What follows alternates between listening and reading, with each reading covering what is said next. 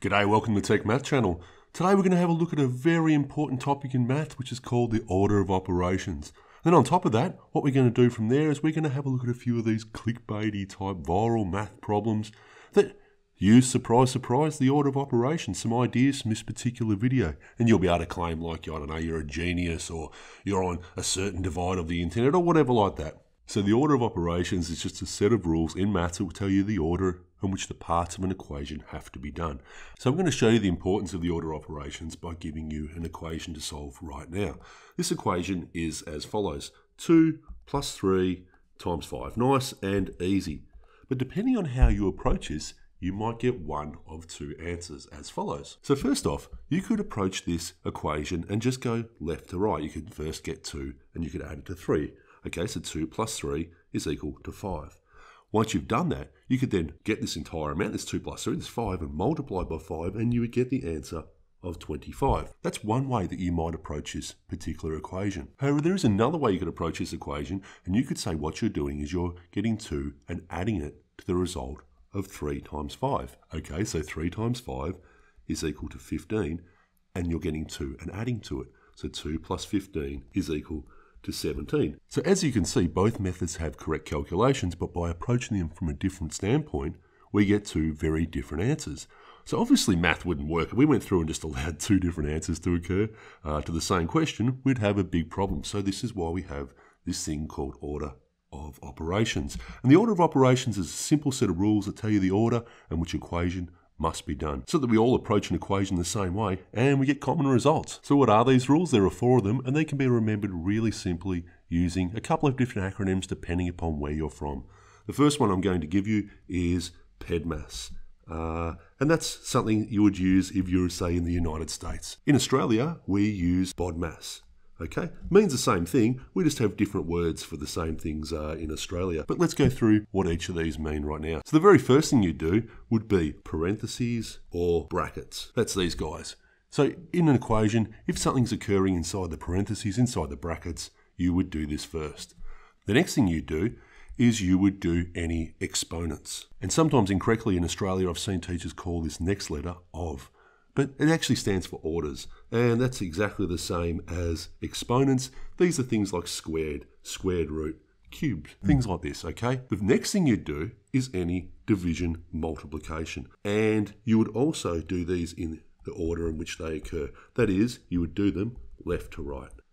The last thing you do is you would do any addition, subtraction. And once again, and you would just do these left to right. And there you go. This is the order. PEDMAS, BODMAS. So let's go through a few examples of these and then we're going to get to those viral math questions I told you we're going to have a look at. So let's go through a few examples of these. In this order, we'll have a look at some involving parentheses, then some involving exponents, and then division, multiplication, addition, subtraction, just to get you used to the little r subtleties that can occur in this particular set of rules.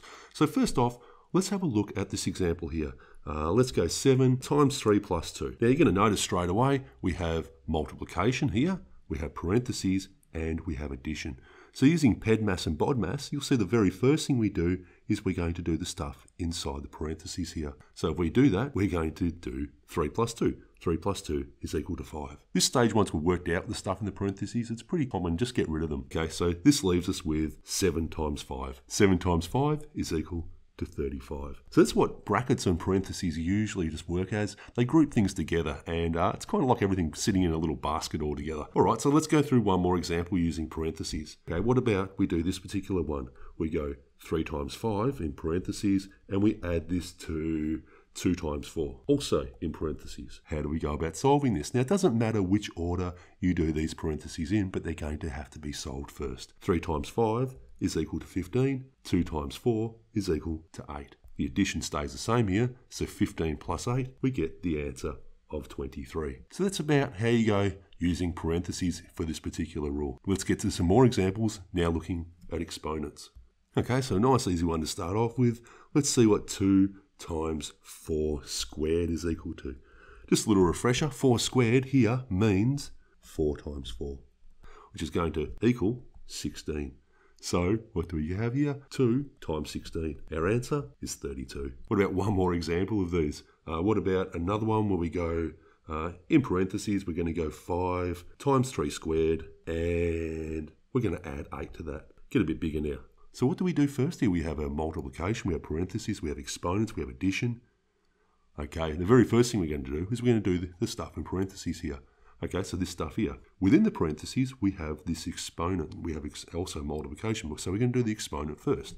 This is going to leave us with 5 times 9 remaining in parentheses for the minute, plus 8. So I've just worked out that exponent part of it. All right, now what we do is we, we finish the stuff in the parentheses. Uh, 5 times 9 is equal to 45 plus 8, and we see what this equals.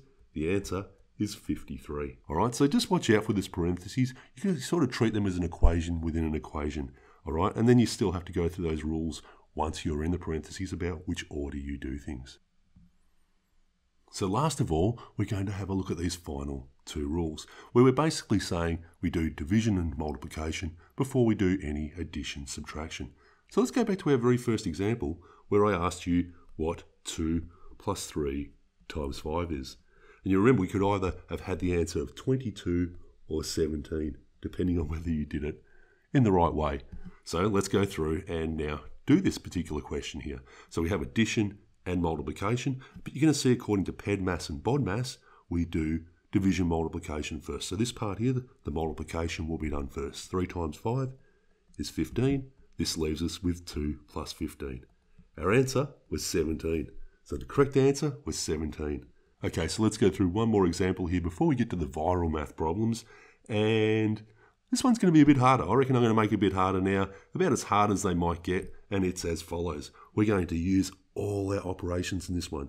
So I might give myself a bit of space and get rid of everything so far. All right. Okay, let's do this. Uh, now we have 8 plus 3 squared. Let's multiply that by 5. Let's take 6 off this uh, times 2 plus 1. From that, we divide by 2.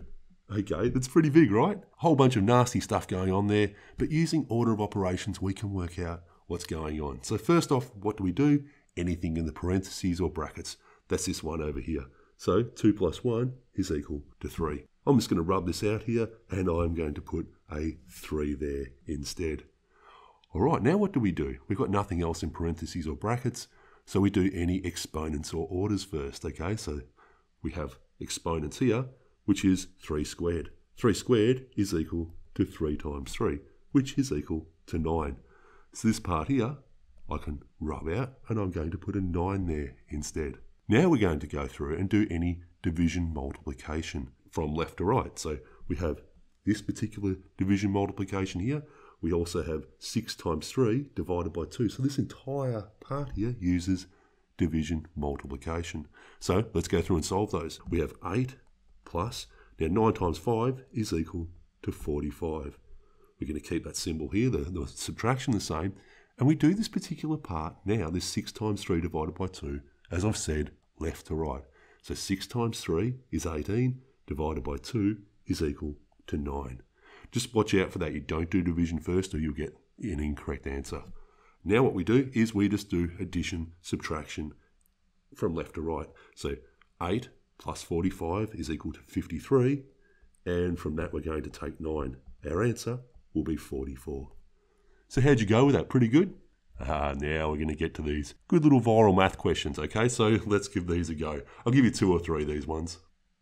Okay, the clickbaity examples, be careful. These are tricky. That's why they're dividing the internet, okay? So, uh, an example of one that I've seen fairly recently is this one here 8 divided by 2, and in brackets, 2 plus 2. Give this one a go.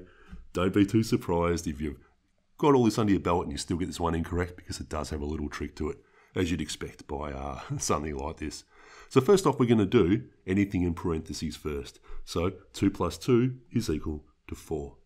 Okay, so what do we have now? We have 8 divided by 2. When they're sitting next to each other like this, it means they're multiplying. Okay, so this is what we have is 8 divided by 2, which is equal to 4. 4 times 4 is equal to 16. All right, so that's uh, the answer to this one. But I'm going to show you where people commonly get this one wrong. 8 divided by 2, uh, 2 plus 2. And this is where people commonly get this wrong. What they do is, and that's the correct answer here, but this will be the incorrect answer. What they commonly do is once again, they do anything in parentheses or brackets first. So they go 2 times 2 is equal to 4. Okay, so we can almost put that there, put a 2 there, and we go 8 divided by 2, uh, 2 times 4. So what they do then do is quite commonly people just multiply these two together as a matter of uh, just straight away just do it. That's 2 times 4 is equal to 8. So 8 divided by 8, they'd get the answer of 1, which is incorrect. Okay, it's just really, really important here that once you work this out, you realise that these guys have to multiply. And a lot of these are so-called viral, uh, dividing the internet sort of math problems have these sort of, of uh, tricks to them. Let's go through another one. All right, this one here, 9 take away 3 divided by a third uh, plus 1. And we'll see what that is equal to. Once again, be really careful. So first off, you can see it only has subtraction, division, and addition. So we're going to do this particular part here first. 3 divided by a third, what is that? So if you can imagine, in 1, if I break it up into thirds, okay, I'm going to do that to three things, okay. How many thirds do we have? We have 1, 2, 3, 4, 5, 6, 7, 8, 9. So 3 divided by a third is equal to 9. So, so far we would have this, we'd have 9, take away 9, plus 1. Pretty easy now, right? 9 take away 9 is equal to 0, plus 1 is equal to 1. All right, how'd you go with that? I can guarantee you there's actually a little chance that I get one of these guys wrong, and there'll be a whole big bunch of arguments that occur in the comment section because uh, because that's what the comment section's all about. And so, what I recommend is if you don't agree with any of these, disagree, comment, get an argument. We'll pin up the debate and we'll uh, see how it goes. But keep it nice, please keep it nice because we're all likely to make mistakes sometimes when we're doing maths. Okay, what about one more of these? Okay, what about this particular one here? We'll go 6 squared uh, divided by 2 in brackets 3 plus 4. So you're going to see once again it has this particular element of the two things sitting next to each other like this. So let's rewrite that. Let's rewrite that as 6 squared divided by 2 times 3 plus 4 and we'll see what that equals. The first thing we're going to do now is we are going to do the exponents. Okay, so what's 6 times 6? 6 times 6 is equal to 36. 36 divided by 2 times 3 plus 4. All right, now we're going to do division multiplication left to right. 36 divided by 2 is 18. 18 times 3 is equal to 54. So this whole part here is equal to 54. 54 plus 4, that's our answer, is going to be 58. All right, I'm sure I'm going to get some disagreements on these guys.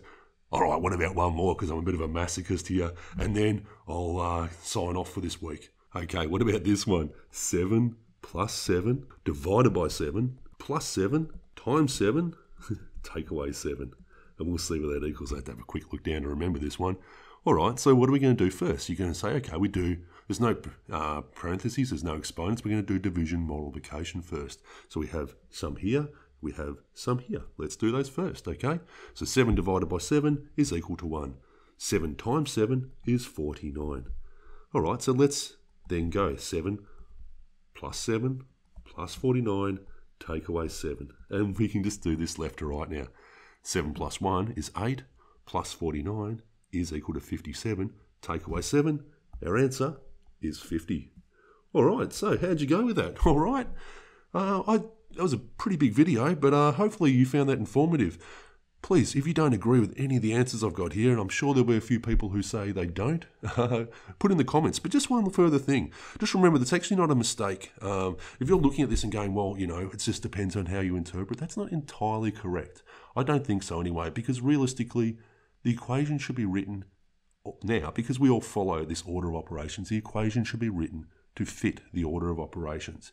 Admittedly, some of these uh, more viral ones are written in a confusing manner, but that's what they're all about, right? They're there to, to create a discussion and to, uh, you know, get people a little bit interested in maths. So I actually don't mind them very much. Anyway, tell us what you thought of this video. Uh, thank you for watching, and a big shout out to my subscribers. All right, and stay well out there. Take care. See you next time. Bye.